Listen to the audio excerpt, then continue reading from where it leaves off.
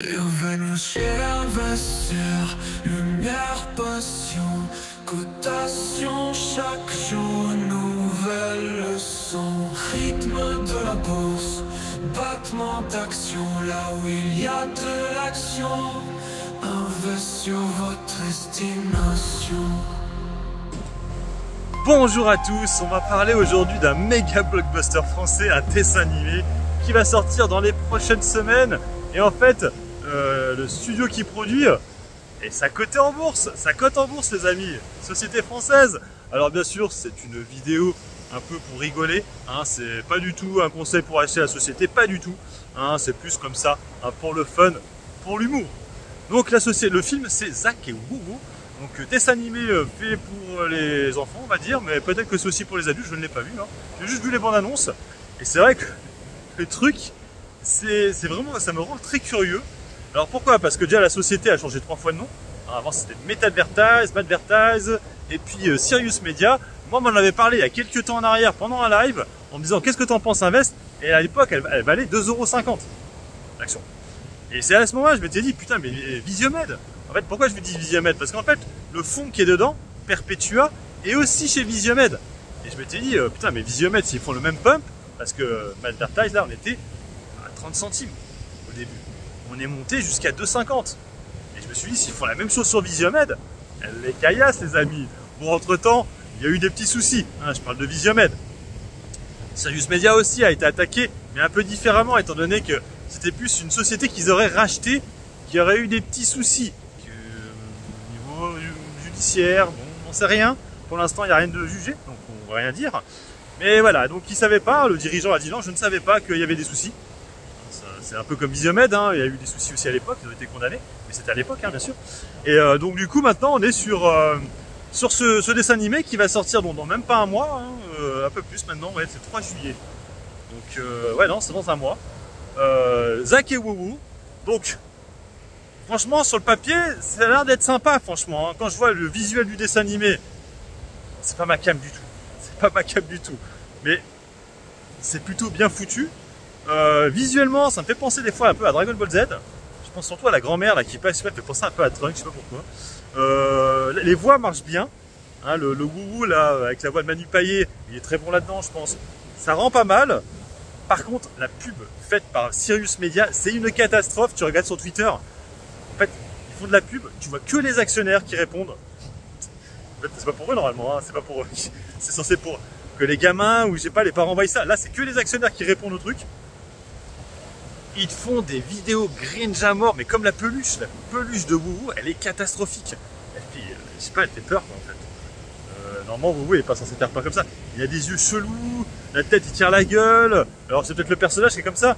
Mais euh, pour vendre des peluches, c'est pas trop ça, quoi. Pourtant, dans le dessin animé, je le ressens moins. Alors, c'est parce que c'est une peluche, mais ouais, c'est compliqué. Après, le dessin animé, la bande-annonce, pour l'instant, ça a l'air d'aller, je trouve. C'est pas trop dégueulasse. Ça va. Après, le film en lui-même, je ne l'ai pas vu. Hein, ça se trouve, c'est une calamité. vous savez que les bandes-annonces, c'est le problème. Tu vois une bande-annonce, t'as l'impression que c'est extraordinaire, et finalement, le film est catastrophique. Hein. J'ai l'impression qu'ils ont dû payer des droits aussi pour des musiques, parce que t'as toujours la même musique à tu fais il y a pas mal de trucs où je me dis, ça c'est des copier-coller, quoi. Genre le mec qui met les Walkman, à moi il écoute la musique, ça fait penser au Gardien de la Galaxie.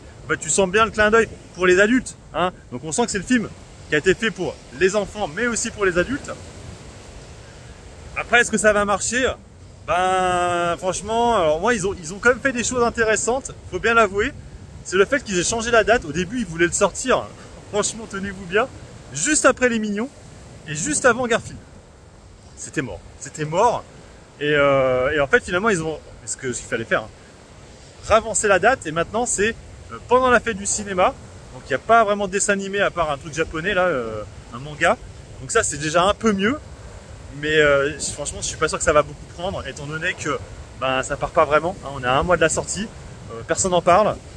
c'est vrai que bon, il y avoir de la pub avec France, pas France Télévisions, c'est C8.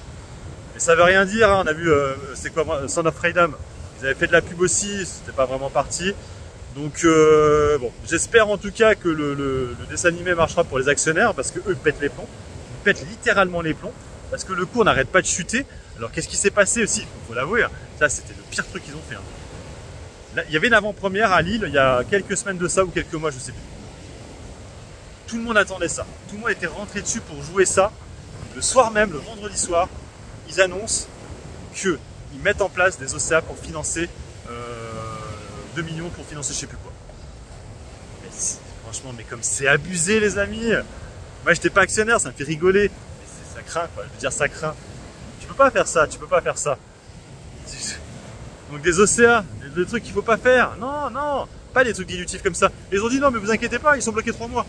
Depuis qu'il y a eu cette annonce, l'action s'est littéralement effondrée les amis. On était à 50 centimes, je crois qu'on est à 32. Cata, cata. Et là maintenant tu vois sur les, tweets que met la société hein, pour faire la pub du dessin animé, tu vois tous les actionnaires qui se pointent, qui critiquent, qui sont pas contents. Bah ouais, bah, a un moment donné, tu sais, euh, quand tu fais perdre de l'argent à tes actionnaires, euh, pas de pain. Alors maintenant, ouais, je vous dis ça pour les actionnaires. J'espère que vous n'êtes pas rentré sur la société que pour ce dessin animé là, hein, euh, voilà. Hein. moi, ça m'intéresse pas ce dossier, hein, ça me fait rigoler, c'est pour le fun. Peut-être que vous ferez de l'argent, ben, ce serait bien si c'est le cas. Moi, j'y crois pas trop. Je trouve que les embrouilles qu'il y a avec le fond, là, moi, ben, ça me, j'aime pas ce genre de truc. trop compliqué. Je sais pas qui c'est qui a raison. Je sais pas si c'est Perpetua ou si c'est le lanceur d'alerte. Pour moi, je n'investis pas là-dessus. Trop compliqué.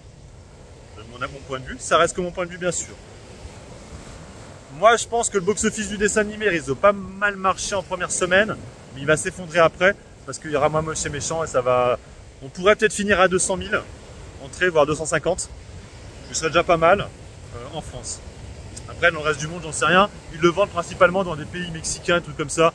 Donc bref. Euh, après, il y a aussi les sorties sur Netflix, hein, qui pourraient faire que euh, ça pourrait monter un peu au niveau du chiffre d'affaires. Voilà, en tout cas, c'était pour en parler parce que c'est vrai que moi, ça me fait rire et j'adore le cinéma. C'est pour ça, j'adore le cinéma et ça me parle, ça. Je veux dire, les dates de sortie, tout ça, machin. Mais après, les dessins animés, c'est moi mon truc, malheureusement. En général, investir dans le cinéma, ça ne fait pas gagner beaucoup d'argent. On se rappelle aussi, mais ça n'a rien à voir, il y avait eu un, film avec un nounours là en, en NFT qui n'est jamais sorti. Lui, au moins, il est sorti. On peut le reconnaître. Il va sortir. Allez, sur ce, moi je vous laisse. Bon investissement, mon trade. Ciao, ciao.